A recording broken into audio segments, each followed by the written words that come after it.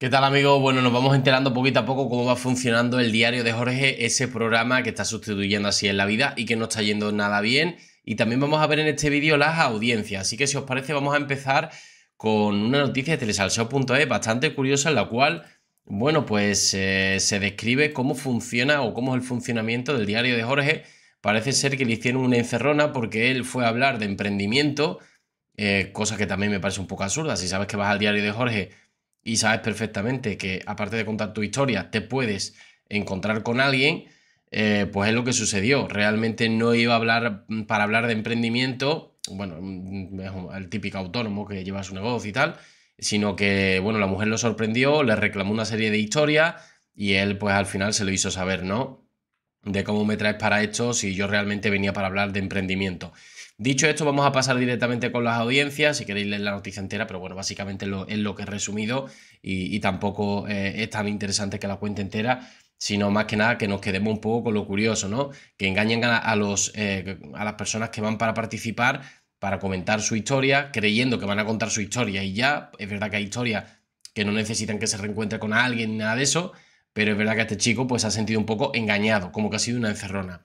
Dicho esto, vamos a, las audiencias de en el día de ayer, tanto Antena 3, Tele5, La 1, eh, y bueno, eh, ese diario de Jorge, vamos a ver cómo va, que por lo visto ya en un principio dice que coge aire. Vamos a ver si ha cogido mucho aire o ha cogido solo un poquito.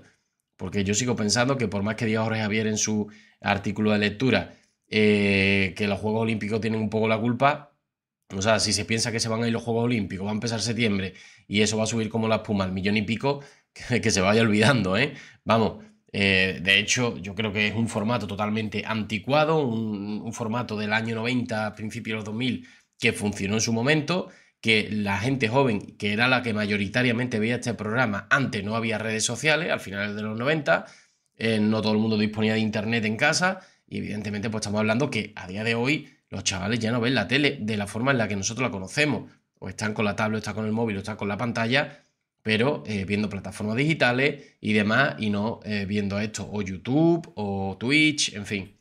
Bueno, el cine de Antena 3, 10% lidera ante el apaño de Telecinco con su serie turca y el diario de Jorge coge aire en la tarde.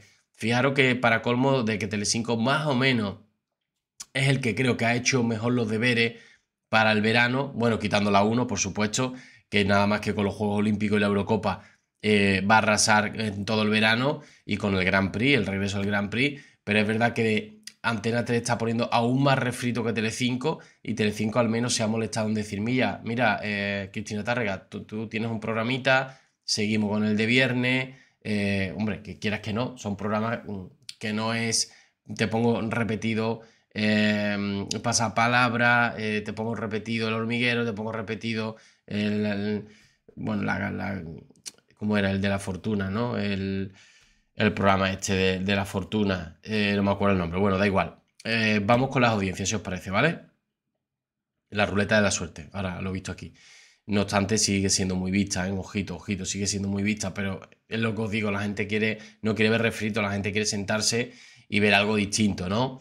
Bueno, llevamos 7 días computados, estamos a día 8, la 1 eh, lleva el mes ganado con un 16,5 a, 7 días computados, todavía falta mucho, pero es verdad que es reseñable que aunque acaben los Juegos Olímpicos eh, pronto y luego los Paralímpicos quizá que se vean menos, pero es verdad que Antena 3 no, no está en disposición tampoco de hacer mucho, estamos hablando de un 10,4 en 7 días computados Antena 3 no tiene una oferta mucho más, mucho mejor eh, a lo que, o sea, a lo que se enfrenta en agosto, es decir, ya lo que tiene lo que hay, lo que estamos viendo. Eh, no tiene grandes programas de relumbrón porque los deja todo para septiembre.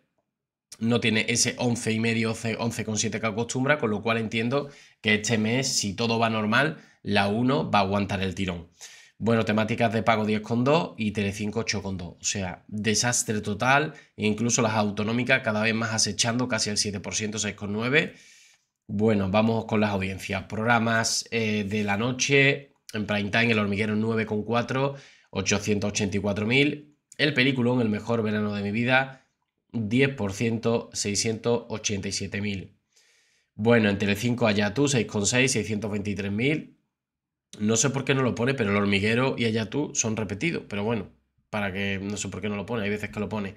Una vida perfecta entre 5, 6,7, 374.000. Fijaros, si la película Antena 3 se ha visto poco, 687.000 espectadores y un 10%, una vida perfecta de Telecinco, 6,7, 374.000. O sea, es increíble. Lo que yo no sé cómo Televisión Española no está por delante o cualquiera de las otras cadenas. No sé cómo han hecho un poco la media, en fin. Bueno, vamos con la sobremesa. Vamos con la tarde, que digamos también aquí es donde está un poco el key de la cuestión, ¿no? Sueños de libertad 11,9, 1.068.000. O si os fijáis, eh, los Juegos Olímpicos, pese a que tienen buenas audiencias, estos son las mismas audiencias que tenían por las tardes aproximadamente, ¿vale? Un pelín más, pero muchas de, de las tardes que, bueno, mm, disponía la 1 con sus programas, eh, un par de ellos creo que superaban el millón, eh, algunos se acercaban a los 900.000 y algunos un poco más flojitos, ¿vale? 600, 700.000 de las cinco eh, programaciones que tenían en la 1 en la tarde, normalmente pues esa era la audiencia, con lo cual no está muy, muy distante.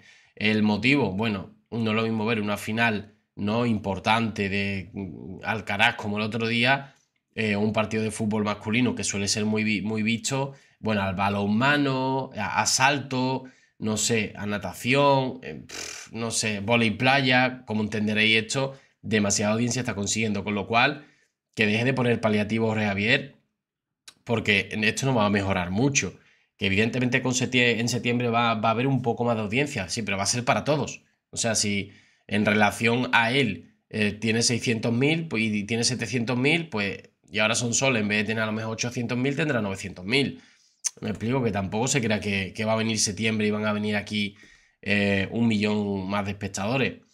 Bueno, como decía, pecado original eh, 10,7, 906.000 y el millón 68.000 de Sueños de Libertad, que es lo que mayoritariamente coincide con el diario de Jorge, que lo tenemos por aquí, 7,7, 676.000. Es decir, sube un poquito, sube un poquito, por eso dice de que coge aire, pero me ha hecho gracia. ¿Dónde está el aire? O sea, no llega ni a los, ya no a los 800.000 que nos quejábamos, ¿no? De así en la vida, qué flojito está. Ya ni siquiera a los 700.000. O sea, esto tiene, tiene pinta de cancelación. El problema, según he estado leyendo a, un entendido de televisión por redes sociales, eh, no tienen un plan B. O sea, ellos pensaban que, bueno, iba a tener más o menos lo mismo casi en la vida, quizás como poco, como poco, y ya luego de ahí a septiembre darían el salto a tener mejores audiencias. No se esperaban este desastre, con lo cual, si no tienen plan B, no tienen más remedio que aguantar con estas audiencias durante un tiempo. Poner ahora una nueva novela cuando hay dos novelas que ya están funcionando, como es Sueño de Libertad y Pecado Original, me parece un poquito arriesgado, la verdad. Bueno, tardear 8,6, 658.000, un poquito por de, eh, bueno, un poquito por detrás, aunque en espectador un poquito más, un poquito por detrás en cuota de pantalla, vamos, prácticamente un empate técnico con y ahora son soles de verano, 8,8, 653.000. Ya luego, pues bueno, muy parejo como todos los días, pasa palabra con ese milloncito y reacción en cadena un pelín por detrás, verdad que está un poquito más bajo que los últimos días que venimos viendo, 7,7 y ni siquiera lo llega a los 600.000. Entiendo que ahora mismo no, no se puede valorar esto de otra manera, o sea, ni siquiera pasa palabra está bien. No sé si es por los Juegos Olímpicos realmente, porque tampoco es que tengan. Es verdad que en la última franja la natación artística tuvo un 16,7, 1.255.000, pero tampoco creo que eso sea la explicación. Bueno, estamos en verano, hay menos gente viendo la televisión, eh, o sea, esto em, estábamos viendo hasta hace un par de meses que pasapalabra tenía 1.700.000 y reacción en cadena llegaba al millón cien, ¿no? Con lo cual, esto significa que, bueno, es un poco el verano, ¿no? Aparte de que los Juegos Olímpicos también están quitando un poquito cuota de pantalla, pero es el verano, ¿no?